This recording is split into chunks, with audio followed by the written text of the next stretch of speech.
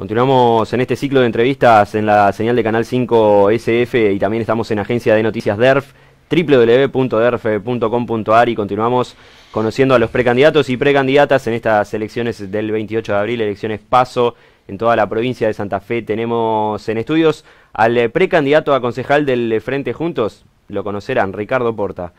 Gracias por venir, Ricardo, ¿cómo estás? Bien, bien, muy bien, muy distinguido por este, por por la invitación para poder explayarme. Eh, me encanta defender el proyecto de Todos Juntos por Santa Fe. Todos Juntos por Santa Fe, el nombre de la lista. Exactamente. ¿Cómo te, cómo te decidiste o tu equipo de trabajo decidió que seas candidato a, concejal en estas elecciones? ¿Cómo llegaron a ese punto? Mira, después de, varias llamadas de Sebastián Piñata, finalmente hubo una frase del muy inteligente Lleva, tiene un vuelo político que la gente no conoce, yo por lo menos lo estoy descubriendo ahora, me dijo, Ricardo, eh, por favor te necesitamos porque eh, uno de nuestros lemas en, este espacio político es construir sin confrontar, sin descalificar. Y bueno, y lo consulté con, mi familia, con, mis afectos, con la gente que, me asesora políticamente, eh, que sé que conoce de política y me convencieron. Y al día siguiente ya estuve arengando a la militancia porque al día siguiente, cuando me citó em, Sebastián Piñata a la fundación frente a Plaza España, me encontré con 40 o 50 o 60 militantes y los arengué. Entonces, bueno, eh, realmente me convencieron. Ya tenías tengo la gran posibilidad, de candidato. Por supuesto, tengo la gran posibilidad a través de este espacio de devolverle a Santa Fe un poquitito de todo lo que me dio Santa Fe. ¿Por qué? Porque yo conozco lo, que es la pobreza, conozco lo que son los bajos recursos. Yo nací en el corazón, Andrés, del barrio La Lona. Se inundaba en esa época el barrio La, Lona y como nací en un rancho de adobe, mis padres tenían que poner tablones, cuando era chiquito yo estaba en una cuna, tenían que poner, eh, y caminaba, pero no tenían plata para comprarme una cama, para que yo no me mojara, para ir a la cocina ponían tablones desde la cuna a la, a la cocina. Era piso, por supuesto, de tierra firme. Y bueno, yo conozco lo que era necesidad. ¿Ya eras peronista en esa por época? Por supuesto, soy peronista desde el vientre de mi madre, Andrés. Hmm. ¿Por qué? Mi madre conoció, cometió el error de conocer a un negro peronista, y negro y peronista que era mi padre, que era obrero de obra sanitaria. Y ahí justamente en La Lona y otros barrios era uno de los que abría las zanjas para hacer pozos en la calle, para que coloquen los, caños de, agua corriente, o sea, trabajaba en obra sanitaria.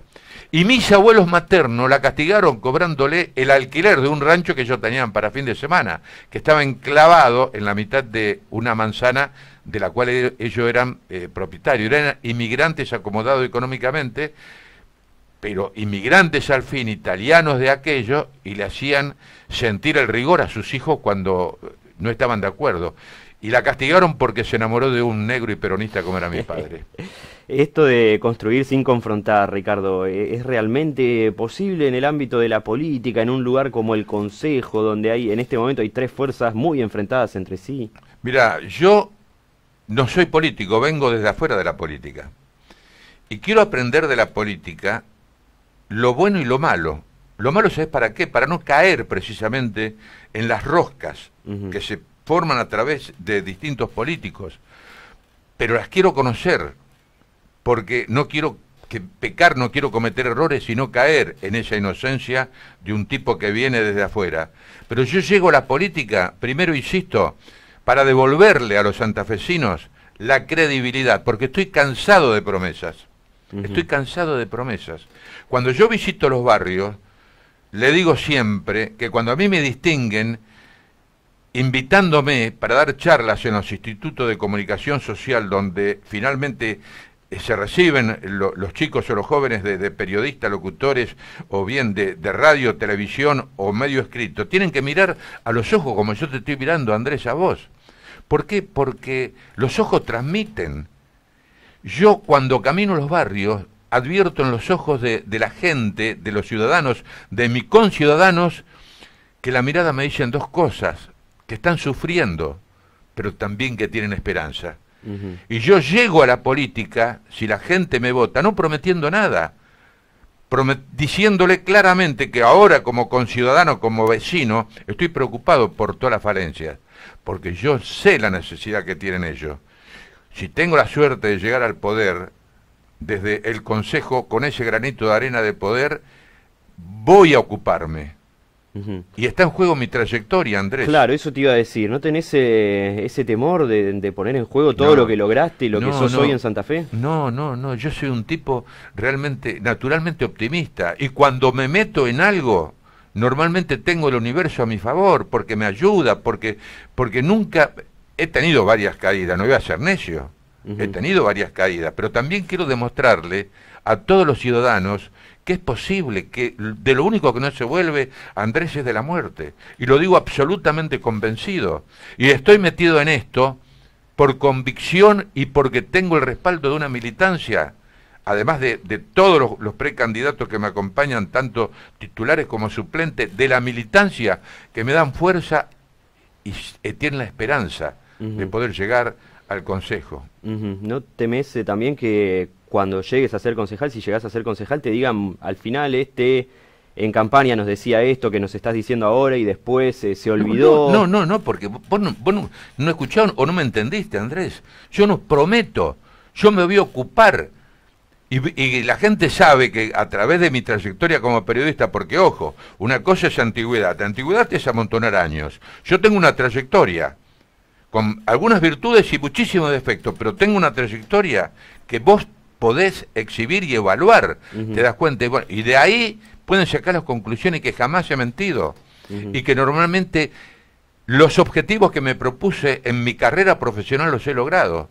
Yo he tenido varias y tentadoras ofertas desde Buenos Aires y también del exterior, pero sin embargo preferí quedarme en Santa Fe. Santa Fe de la Veracruz, como digo yo en las aperturas de las transmisiones, es mi país es mi lugar en el mundo. Y cuando te toca enfrentar un poder, digo, semi-mafioso, por ponerle un calificativo nomás, como te sucedió en la época de Germán Lerche en Colón, si te sucede eso mismo en la política... Eh, es que a mí no me va a suceder, y si me sucede, pelearé. Te, te encontrás con algo muy podrido, algo muy podrido, ¿lo denunciás? Lo denuncio, que no te quepa la menor duda. Y si yo veo algo del que no puedo salir para no defraudar a la gente que me votó, inclusive si está en tu partido, si tiene que ver con tu espacio, si voy a luchar, voy a luchar hasta las últimas consecuencias, Andrés, quédate tranquilo. Y escúchame, yo he tenido serios problemas con otras comisiones directivas antes del ERCHE. He tenido problemas también con, con titulares de los medios que afortunadamente conociendo la honestidad intelectual nunca se animaron a bajarme línea y te doy dos nombres, a los que los quiero muchísimo y desaparecidos ya, como Ángel Malvicino y como Juan Leonardo Vega, los adoro. Pero por allí yo discutía públicamente, ellos no se animaban a bajarme línea a mí porque sabían que, que no me iban a convencer, que yo no podía ir contra la realidad que yo humildemente estaba analizando. Claro. No se animaban. Claro. Bueno, para dirigirte directamente en este momento al ciudadano que nos esté mirando Ricardo y decirle por qué tiene que confiar el voto en Ricardo Porta el próximo 28 de abril. Porque sé lo que sufre la gente. ¿Dónde está la cámara? Ahí, ahí la tiene. Porque sé lo que sufren los humildes, porque yo lo he sufrido durante gran parte de mi vida, porque quiero convencer lo que tienen que creer en que la vida todo es posible he vuelto de un coma 4, de una CB, el médico me decía que no iba a volver a relatar, sí quedaba con vida, sin embargo pude, tuve que aprender a caminar, a hablar, a escribir de vuelta cuatro días en coma 4 después de un aneurisma, me habían abierto la cabeza, sin embargo demostré que se puede.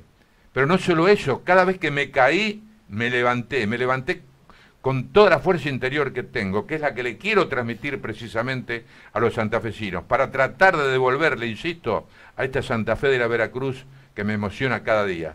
Gracias por venir, Ricardo. A vos, gracias Andrés. Ricardo Porta es eh, precandidato a concejal dentro del Frente Juntos en la ciudad de Santa Fe.